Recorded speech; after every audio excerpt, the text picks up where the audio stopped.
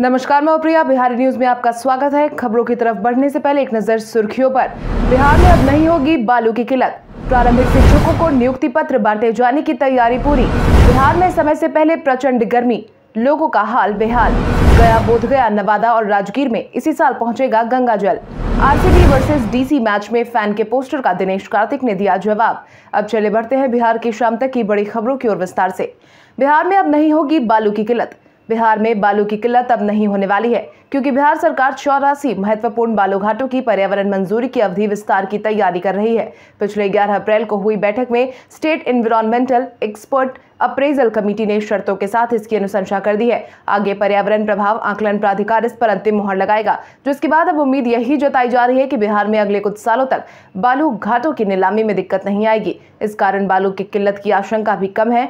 सबसे अहम बात यह है कि पर्यावरण मंजूरी की अवधि विस्तार से कुछ सालों के लिए बालू घाटों की नीलामी में दिक्कत नहीं है। वही नेशनल ग्रीन ट्रिब्यूनल या दूसरी अदालतों में पर्यावरण कानूनों के उल्लंघन के मामलों का सामना करने की आशंका कम हो जाएगी। एईएस और जेई के नियंत्रण को लेकर एक्शन में नीतीश सरकार बिहार में कोरोना की लहर भले ही आ जा रही हो, लेकिन कुछ बीमारियाँ ऐसी हैं जो तय समय पर आती भी है और कई जिंदगियों को उजाड़ कर भी जाती है, जिसमें से एक एईएस और जेई है। ये ऐसी दो बीमारियाँ हैं जिस पर नियंत्रण लाना चुनौतीपूर्ण हो गया है। ऐसी बीमारियों में जो गर्मी में बढ़ने के साथ ही अपना रौद्र रूप दिखाने लगती है। इसके ही रोकथाम के लिए अब नीतीश सरकार भी लग गई है। स्वास्थ्य विभाग ने राज्य के एईएस और जेई प्रभावित बारह जिलों में पंचायत बार एंबुलेंस की तैनाती करने का निर्णय लिया है, जिसमें पटना, वैशाली, मुजफ्फरपुर, समस्तीपुर दरभंगा, सारण, सिवान, गोपालगंज, पूर्वी चंपारण, पश्चिमी चंपारण, सीतामढ़ी और शिवहर शामिल है। इसके लिए विभाग ने सभी संबंधित जिलों के जिलाधिकारी और सिविल सर्जनों को निर्देश दिया है। प्रारंभिक शिक्षकों को नियुक्ति पत्र बांटे जाने की तैयारी पूरी। बिहार के सभी प्रारंभिक शिक्षकों को नियुक्ति पत्र बांटने की तैयारी तेज हो गई है। इसी कड़ी में बिहार के प्रारंभिक विद्यालयों में शिक्षकों की भर्ती की चल रही प्रक्रिया के तहत तृतीय चक्र में अंतिम रूप से चयनित करीब 1200 अभ्यर्थियों को 18 अप्रैल को नियुक्ति पत्र वितरित किए जाने की तैयारी पूरी हो गई है। शिक्षा विभाग ने इसको लेकर तैयारी पूरी कर ली है। अपर मुख्य सचिव संजय कुमार ने सभी जिला पदाधिकारी और जिला शिक्षा पदाधिकारियों को गुरुवार को ही विस्तृत दिशा निर्देश जारी कर दिया था। जारी किए गए निर्देश के अनुसार नियुक्ति पत्र निर्गत करने से पूर्व चयन सूची में अंकित मेधा अंक एनआईसी पोर्टल पर प्रकाशित मेधा सूची। और अंक पत्रों से मिलान करना ज़रूरी होगा। इसकी पूर्ण ज़िम्मेदारी नियोजन इकाई के सदस्य सचिव की हो। चयन सूची के शिक्षक अभ्यर्थियों के लिए छह प्रतियों में नियुक्ति पत्र तैयार रहेंगे। बिहार के सभी जिलों में परिवहन विभाग ने चलाया विशेष अभियान। बिहार के लगभग सभी जिलों में परिवहन विभाग ने बीते दिन एक साथ अभियान चलाकर वाहनों की जाँच की। इस दौरान मुख्य ज़ोर फर्जी, नंबर प्लेट और बिना ड्राइविंग लाइसेंस के नाबालिगों के द्वारा भारी वाहन चलाए जाने की शिकायतों पर रही। इस दौरान कुल आठ वाहनों की जाँच की गई, जिसमें तीन वाहन चालकों पर कार्रवाई की गई। नियमों के उल्लंघन में ग्यारह वाहन चालकों का ड्राइविंग लाइसेंस रद्द करने की अनुशंसा भी की गई। आपको बता दें कि परिवहन विभाग की तरफ़ से हर शनिवार को जाँच अभियान चलाया जाता है। गत दो अप्रैल को भी परिवहन विभाग ने ग्यारह ड्राइविंग लाइसेंस रद्द करने की अनुशंसा की थी। बिहार में समय से पहले प्रचंड गर्मी, लोगों का हाल बेहाल बिहार में समय से पहले ही पड़ रही गर्मी ने मानो सबके होश ही उड़ा दिए हैं। गर्मी की तीव्र मार से आम नागरिकों का हाल तो बेहाल ही है, लेकिन उनका घर से बाहर निकलना भी मुश्किल हो गया है, जिसका सीधा असर अब लोगों के स्वास्थ्य पर भी देखने को मिलने लगा है। अलग अलग अस्पतालों से आई जानकारी के अनुसार लगातार प्रचंड गर्मी से लोगों की सेहत भी बिगड़ने लगी है। अस्पतालों की ओपीडी में उल्टी और दस्त के मरीजों की संख्या में पंद्रह से बीस फ़ीसदी बढ़ोतरी देखी गई। पटना सहित पूरे सूबे के अस्पतालों में बुखार, डायरिया और उल्टी के मरीजों की संख्या बढ़ गई है। मौसम विभाग ने एडवाइजरी जारी की है। लापरवाही करने वालों के लिए दिन के तीन घंटे यानी बारह से तीन बजे का समय ज़्यादा घातक साबित हो रहा है। बीमार पड़ने वाले ज़्यादातर लोग एसी से बाहर अचानक से धूप में बिना पर्याप्त पानी के ही निकल रहे हैं। गया बोध गया नवादा और राजगीर में इसी साल पहुंचेगा गंगा जल गया बोध गया नवादा और राजगीर में जल संकट को दूर करने के लिए 4,175 करोड़ रुपए की लागत से गंगा जल पहुँचाने का काम इसी साल पूरा कर लिए जाने की तैयारी हो रही है। मुख्यमंत्री नीतीश कुमार ने इसको लेकर पहले ही ज़रूरी दिशा निर्देश जारी कर दिए हैं। वहीं बीते दिन एक बार फिर से इन सभी जगहों पर गंगा जल पहुँचाने की बात पर मुख्यमंत्री ने मुहर लगाई है जिसके तहत ही शनिवार को बोधगया में एक करोड़ रुपए की लागत से निर्मित महाबोधि सांस्कृतिक केंद्र का लोकार्पण करते हुए मुख्यमंत्री ने कहा कि केंद्र के ठीक बगल में पर्यटकों के लिए एक सौ छत्तीस करोड़ रुपए की लागत से 100 कमरे के विशिष्ट अतिथि गृह का निर्माण करा रहे हैं। इसके साथ ही इसके अप्रोच पथ का काम भी इस साल के दिसंबर महीने तक पूरा कर लिया जाएगा। इससे पर्यटकों की संख्या में और अधिक इजाफा होने की उम्मीद है।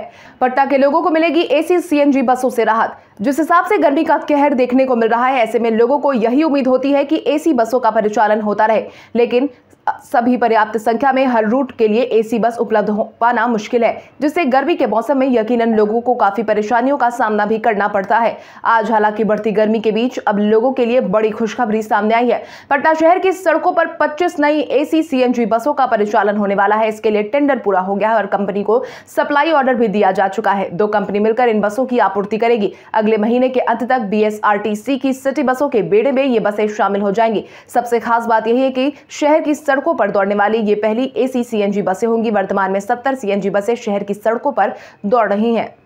बिहार में सिंगर कुमार सानू के कार्यक्रम में जमकर हुआ हुड़दंग। सिंगर कुमार सानू जहाँ भी जाते हैं, चार चाँद लगाने का काम करते हैं। ऐसे में मौका उनके कॉन्सर्ट का हो तो इंतज़ार उनके हर एक प्रशंसक को ज़रूर होता है। और ऐसे में अगर वही देरी से आए या कार्यक्रम से कहीं बाहर चले जाए तो भीड़ का गुस्सा भी देखने को मिलता है। ऐसा ही हुआ बीते दिन बिहार के हाजीपुर में भी। बिहार के हाजीपुर में वैशाली महोत्सव कार्यक्रम तीन दिवसीय चल रहा था, जिसमें अपना कार्यक्रम देने कुमार सानू वैशाली पहुँचे थे। इसी दौरान कुमार सानू गाना गाते गाते पाँच मिनट की ब्रेक पर चले गए। इस दौरान ही गुस्साए लोगों ने अपना गुस्सा कुर्सी पर उतार दिया और जमकर कुर्सियाँ तोड़ने लगे। काफ़ी संख्या में पुलिस बल की भी तैनाती वैशाली महोत्सव में की गई थी। पुलिस ने भीड़ को शांत कराने के लिए अपना बल का भी प्रयोग किया। लाठीचार्ज भी की, तब जाकर भीड़ शांत हो पाई।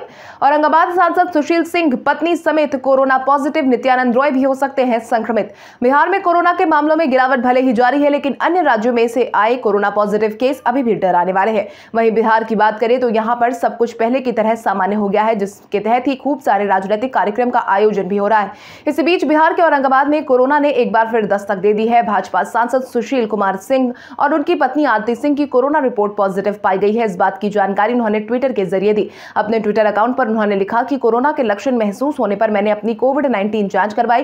रिपोर्ट पॉजिटिव आई। गौरतलब है कि रिपोर्ट आने के 24 घंटे पहले ही सांसद सुशील कुमार सिंह कई कार्यक्रम में शामिल हुए थे, जिसमें नित्यानंद रॉय समेत कई गणमान्य लोग मौजूद थे।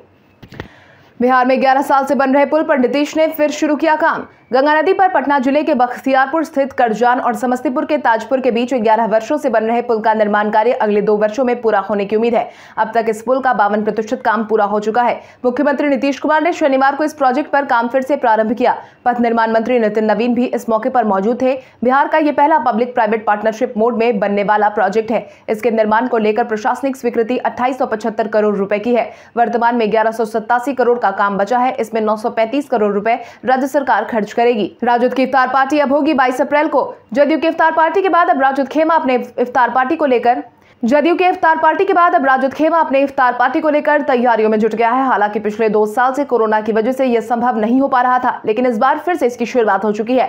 राजद की इस इफ्तार पार्टी 22 अप्रैल को राबरी आवास दस सर्कुलर रोड में मनाई जाएगी। इसको लेकर आमंत्रण बांटने का काम भी शुरू हो गया है। आमंत्रण पत्र में कहा गया है कि पवित्र रमज़ान के मुबारक मौके पर बाईस अप्रैल को शाम में दावत इफ्तार का आयोजन किया गया है। हालाँकि राजद सुप्रीमो दिल्ली में है, लेकिन फिर भी बिहार में राबरी आवास पर यह दावत दी जा रही है। आपकी जानकारी के लिए आपको बता दें कि विधान परिषद में नेता प्रतिपक्ष राबड़ी देवी विधानसभा में नेता प्रतिपक्ष तेजस्वी यादव और विधायक तेज प्रताप यादव की तरफ़ से लोगों को आमंत्रण देने का काम हो रहा है। पूर्व प्रधानमंत्री चंद्रशेखर की जयंती पर टाइट दिखी सीएम नीतीश की सिक्योरिटी। हाल ही में मुख्यमंत्री नीतीश कुमार की सुरक्षा में हुई सेंधमारी का नतीजा अब दिखने लगा है, जिसके तहत ही मुख्यमंत्री नीतीश कुमार पर दो बार हमला होने के बाद सुरक्षा में बड़ा बदलाव किया गया। दरअसल मुख्यमंत्री नीतीश कुमार आज पटना में पूर्व प्रधानमंत्री चंद्रशेखर की जयंती के अवसर पर एक राजकीय समारोह में शामिल होने पहुँचे थे। यहाँ पर उनकी सुरक्षा में बड़ा बदलाव देखने को मिला। मुख्यमंत्री नीतीश कुमार जब चंद्रशेखर की प्रतिमा को श्रद्धांजलि देने पहुँचे तो उनके आसपास सिक्योरिटी टाइट दिखी। जहाँ उन्होंने पूर्व प्रधानमंत्री चंद्रशेखर सिंह की आदमकद प्रतिमा पर माल्यार्पण कर उनके बताए रास्ते पर चलने का संकल्प लिया। इस मौके पर कई गणमान्य लोग मौजूद थे। वहीं मुख्यमंत्री ने अधिकारियों को चंद्रशेखर सिंह पार्क में साफ़ सफ़ाई और इसे सुव्यवस्थित रखने का निर्देश दिया है। पशुपति पारस के काफिले पर पथराव। लोजपा में आई फूट का असर अब समर्थकों पर भी देखने को मिल रहा है। राजनीतिक और पारिवारिक कलह से जूझ रही लोजपा के समर्थक भी अब एक दूसरे के कट्टर विरोधी हो गए हैं। बीते दिन भी ऐसा ही मंजर देखने को मिला जब पटना ज़िले के घोसवरी प्रखंड स्थित चारा डीह चौरमल महोत्सव में जमुई से सांसद चिराग पासवान ने अपने पिता और पूर्व केंद्रीय मंत्री रामविलास पासवान की मूर्ति का अनावरण किया। उनके जाने के बाद वहाँ केंद्रीय मंत्री पशुपति पारस पहुँचे तो उनके काफिले पर लोगों ने पथराव शुरू कर दिया। लोग उन्हें मेले में जाने से रोकना चाह रहे थे। वो तो भला हो पुलिसकर्मियों का कि पुलिसकर्मियों की मौजूदगी में पारस ने किसी तरह मंदिर में पूजा की। इस दौरान भी आक्रोशित भीड़ मंदिर के पास जमा हो गई। वापस जाने का नारा भी लगाने लगी। नवल किशोर रॉय का पार्थिव शरीर लाया गया। जदयू ऑफ़िस पूर्व सांसद और जदयू नेता नवल किशोर रॉय ने हाल ही में दुनिया को अलविदा कहा है, उनका ही पार्थिव शरीर आज दिल्ली से पटना लाया गया। पटना पहुँचने के बाद उनके पार्थिव शरीर को बिहार विधानमंडल और फिर जदयू कार्यालय लाया गया। जनता दल यूनाइटेड कार्यालय में मुख्यमंत्री नीतीश कुमार ने दिवंगत सांसद को अंतिम श्रद्धांजलि दी। इस मौके पर उन्होंने नवल किशोर रॉय के राजनीतिक जीवन का स्मरण करते हुए उनसे जुड़ी यादों को साझा किया। इस दौरान मुख्यमंत्री नीतीश कुमार ने कहा कि नवल किशोर रॉय से मेरा पुराना संबंध था। जननायक कर्पूरी ठाकुर के समय से उनसे मेरा संबंध था। मुझे इस घटना से काफ़ी दुख हुआ है।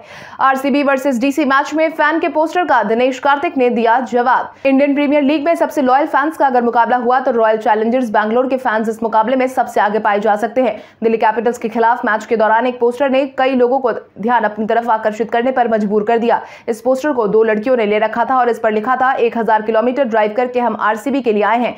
इस साल कप, नाम ने इस पोस्टर का जवाब मैच के बाद दिनेश कार्तिक ने ट्विटर के ज़रिए दिया है ट्विटर पर जब इस पोस्टर को शेयर किया गया तो दिनेश कार्तिक ने इस पर जवाब देते हुए लिखा, उम्मीद करता हूँ कि आपका ड्राइव करना आज बेकार नहीं गया होगा। कल हमारे द्वारा पूछे गए सवाल का जवाब आप में से बहुत सारे यूज़र ने हमें कमेंट करके दिया था। उसके लिए आपका बहुत बहुत धन्यवाद। आप में से जिन यूज़र का कमेंट हमें अच्छा लगा है, उनके नाम है विजय घायल, सुमन सौरभ, पिंटू कुमार ठाकुर, गोलू कुमार, अक्षय कुमार, सुमन कुमार, रंजीत मिश्रा, जितेंद्र ठाकुर, ध्रुव कुमार, शंकर मुखिया, कविता कुमारी, नीरज कुमार, मुकेश कुमार यादव। आप इसी तरह हमारे सवालों का जवाब देते रहे। हर दिन वीडियो के अंत में आपका नाम लेने की पूरी कोशिश करेंगे। तो चलिए बढ़ते हैं आज के सवाल की आज का सवाल कुछ इस प्रकार है। आपके अनुसार आईपीएल में मौजूदा टीम के परफॉर्मेंस को देखते हुए किस टीम के इस साल जीतने की सबसे ज़्यादा संभावना है। अपने जवाब में कॉमेंट करके ज़रूर बताएँ। इसके साथ ही आज के लिए बस इतना ही। बिहार की बड़ी खबरों से अपडेटेड रहने के लिए हमारे यूट्यूब चैनल को सब्सक्राइब करें और बेलाइकॉन दबाना ना भूलें। धन्यवाद।